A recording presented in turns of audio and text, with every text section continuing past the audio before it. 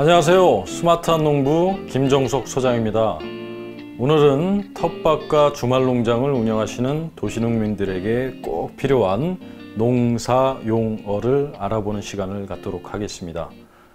알아볼 농사 용어는 파종, 정식, 고랑, 일학 만들기, 복토, 바라, 솎아내기, 연면시비, 관주, 육묘기, 생육기, 전생육기, 결구, 곁순 자르기, 꺾고지, 도보, 돌려짓기가 있습니다. 어, 농사 용어의 자세한 설명을 위해 자료 화면을 통해 알아보겠습니다. 첫 번째 용어는 파종입니다. 파종은 뭐 다 아시죠? 곡식이나 채소를 키우기 위해 논과 밭에 씨를 뿌려주는 것을 말하는데요. 또 다른 표현으로 씨 뿌림, 씨 뿌리기라고도 합니다. 정식. 정식은 본포에 옮겨 심는 것을 말하고 여기서 본포는 수확까지 재배하는 밭, 밭을 이야기합니다. 자, 다음은 두둑입니다. 두둑은 작물을 심기에 만든 흙두덩인데요. 밭에 가면 많이 볼 수 있으며 사진처럼 흙이 이렇게 올라와 있습니다. 다음은 고랑입니다.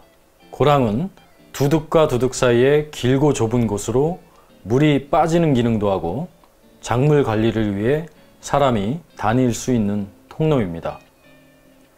이렇게 두둑과 고랑이 만들어지면 일학 만들기는 아주 자연스럽게 진행되는데 일학 만들기는 씨를 심을 수 있도록 땅을 일구는 것으로 어떤 작물을 심느냐에 따라 일항의 두둑 높이가 달라집니다.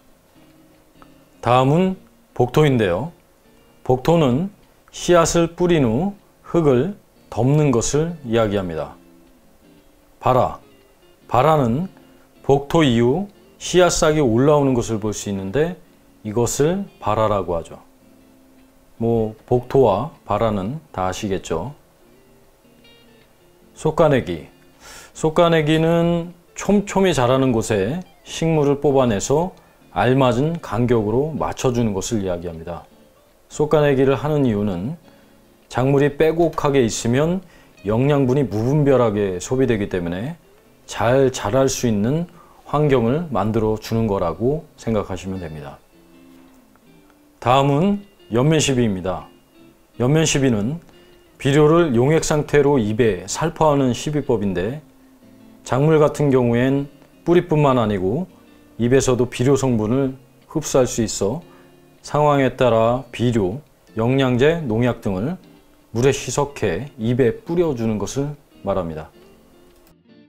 관주 관주는 토양이나 뿌리에 물이 흘러가게 해주는 것으로 희석한 약재나 비료, 영양제를 뿌리와 토양에 흠뻑 뿌려주는 것을 이야기합니다. 다음 알아볼 육묘기, 생육기, 전생육기 이런 단어는 저희가 이제 비료, 영양제, 농약 등을 하면 뒷면에 자주 나오는 단어입니다. 첫 번째 육묘기는 묘를 기르는 기간을 말하고 두 번째 생육기는 식물이 왕성하게 생장하고 있는 시기를 이야기하며 마지막으로 세 번째 전생육기는 식물이 자라는 전시기, 생물의 일생, 그러니까 육묘기와 생육기를 통틀어 전생육기라고 이야기합니다. 결구, 결구는 배추, 양배추, 양상추 등의 채소가 포기를 채우는 것을 이야기하는데요. 화면을 보면 겹겹이 이렇게 만들어진 포기를 볼 수 있습니다. 이것을 결구라고 하죠. 곁순 자르기. 곁순 자르기는 줄기에 겨드랑이에 나는 순을 곁순이라고 하고 이것을 잘라내는 것을 이야기합니다.